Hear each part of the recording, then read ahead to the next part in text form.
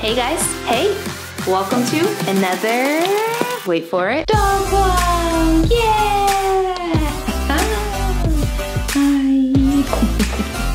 And in today's video, I am going to give you my tips and advice on picking a kibble for your dog. Yeah, all right, so let's just jump into this video uh, right. Oh, oh, wait, wait, wait. If you are new here, welcome. I'm so damn happy that you're spending some of your time with us. Uh, click that subscribe button if if you like what you see here.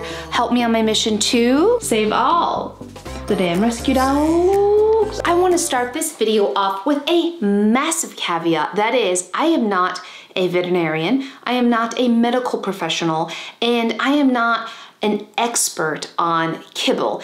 What I'm going to share with you today is my personal experience and my personal opinion. I have a lot of experience when it comes to pet food, the pet food industry, dogs, dog nutrition, uh, but I just, I like to give that caveat. The second major caveat of today's video is that Above anything else, I am a fresh food advocate. I have videos linked up here. You can learn all about adding fresh food to your dog's diet, raw feeding, but my number one by far, by a landslide choice, choice for a dog's food is fresh food or raw dog food. If you don't know what that is, again, videos all up here already ready for you, also linked down below, so get into those. But today's video is all about kibble. And I wanna make it super clear, while I'm not an advocate of kibble and dry food or even canned food, I understand that we all, as a pet parent, start somewhere and we all end somewhere and it's a journey in between where we start and we, where we end. So wherever you are today, for whatever reason you're feeding, whatever food you're feeding, I believe that you are doing the very best that you can today. I also believe that as a pet parent and as a human being, there's always room to improve and do better. And the way that we do that is to know more. And that's kind of what I want to help you guys today with. I want to help you guys think about things a little differently and maybe i don't know maybe it could uh, lead you to a even healthier dog. Let's jump into the things I would look for if I was gonna be feeding my dogs a kibble diet. And it's actually very simple and very easy. The number one thing, and after I say this, you could just stop the video because this is really the, if you could only take one thing away from this video, this is like the main thing that you should think about and consider when choosing a kibble for your dog's food, and that is the carbohydrate content of the kibble. And this is so important because biologically, dogs, in my humble opinion, do not need excessive amounts of carbohydrates in their diet, especially in the form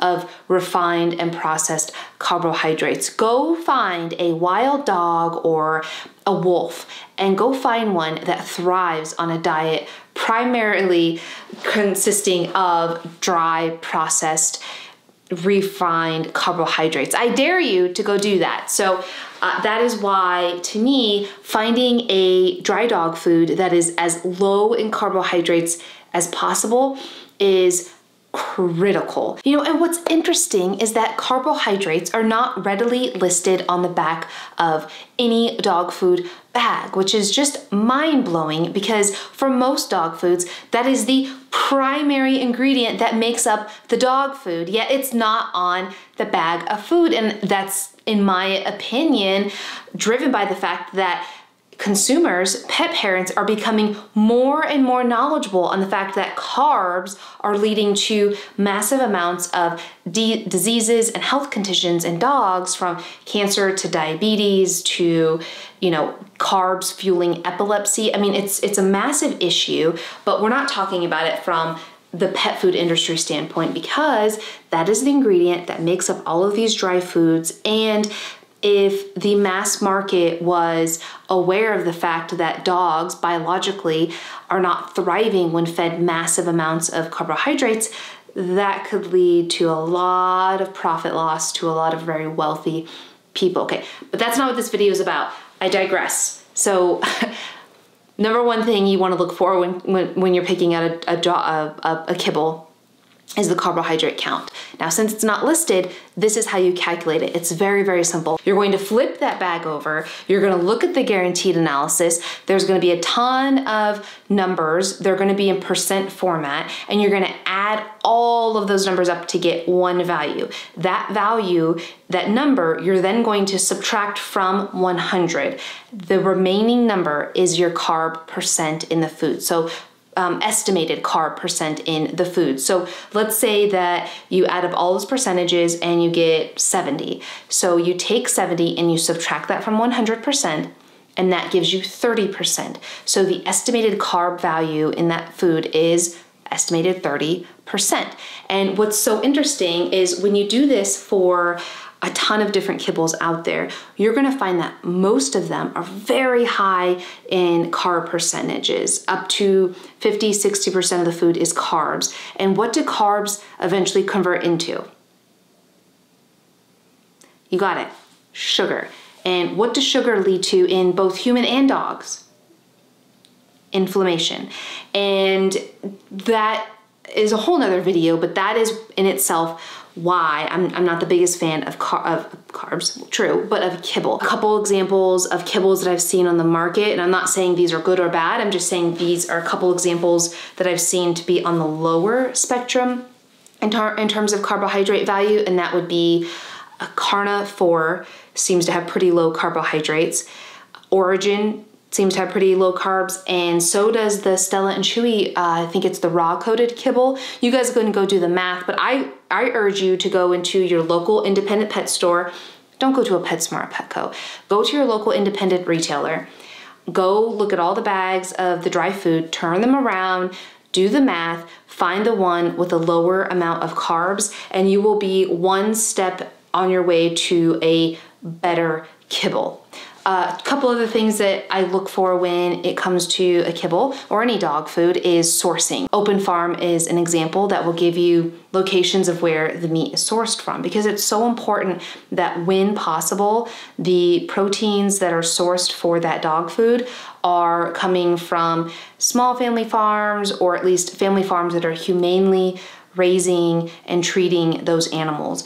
Um, animals that are treated better are generally healthier for dog food consumption. And it's important you're not getting rendered and low quality meat. So sourcing is important. Another thing to look for when it comes to kibble are the synthetics added. The way that you find out if the food has synthetics is simply looking at the ingredient panel and when you start seeing an endless list of ingredients that are kind of hard to pronounce, they probably added synthetics. And the reason that is tough is, you know, I personally am not confident on the regulation of those synthetics. And if there are any issues when the synthetics are being made, that can cause potentially health issues in a dog. So I'm a big fan of fewer or no synthetics as much as possible. On all of this, I do not want to leave this video without making one thing so uber clear to you, and that is do not forget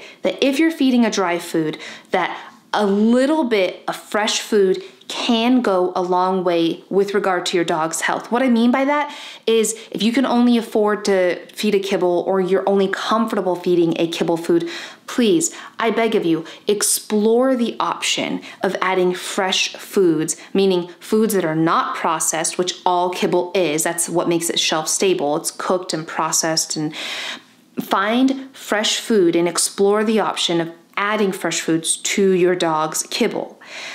Examples are lightly cooked human safe and human grade mushrooms, raw goat milk, uh, bone broth that is made for dogs, meaning there's no seasonings added to it, no salt, of course, added to it to moisture moisture the, the kibble, uh, lightly sauteed broccoli has some great nutrients in it, as well as maybe some fresh fruit, a little bit of blueberry, a little bit of watermelon with the seeds removed are some great things you can add to your dog's diet to get some fresh fruit, fresh food nutrients in the food. Because remember, and this goes with the food that you feed and feed yourself. Yeah, that you feed yourself or eat yourself. When food is cooked, pasteurized or processed, which all kibble is, again, that's why it can sit on the shelf for months at a time, you lose significant amounts of nutrients. It's similar to you and I eating a cereal. It's it, the nutrients are cooked out. It is what it is. If you take like a bag of broccoli and you put it in the microwave for 10 minutes, you're going to lose nutrients. So, I urge you to explore getting some fresh options in your dog's diet. If you're feeding kibble, huh, obediently, huh, usual. Let me go ahead and do bark remark of the day. That's like my comment of the day. I'm gonna do it on one of my more recent videos. This is a good video. So here's a video I did. It's titled My Dog Tries Avocado, Fruits, and Vegetables. And uh, this video gives you some great examples of fresh food items that you can add into your dog's kibble. So I, um, I'll link it right here and it's also linked below. This comment of the day. So this uh, comment goes to Jennifer Diaz. She commented on the video, Hey Rachel, this video was adorable. Such good dogs sitting on the chair. Thank you for sharing your article on avocados. It's so annoying how one rumor gets started. I love how you dig into a myth that people have just been following year after year. This can also apply to many things in life. Love your video. I chose this comment because it is tough. It is tough to put yourself kind of out there on this platform sometimes, but I do believe that it's important that I share my experience, I share my truth. I want to learn from you guys. I want you to learn from me. And I think the more that we know, the, the better we can do. And the final thing I want to say at the very end is Rodney Habib, who is the dog dad AF, he is a pet nutrition blogger, has a ton of experience, does videos 50x times better than I do. Um, first off, you should be following him, and I'll have him be linked down below. But second off, he has a great video talking about um, how to look, how to choose a great kibble, and he goes into way more depth than I do. So I'll link that video up here if I can, but I'll definitely have it linked down below as well. Tell him Rachel Fusaro sent you, and I hope that you had a beautiful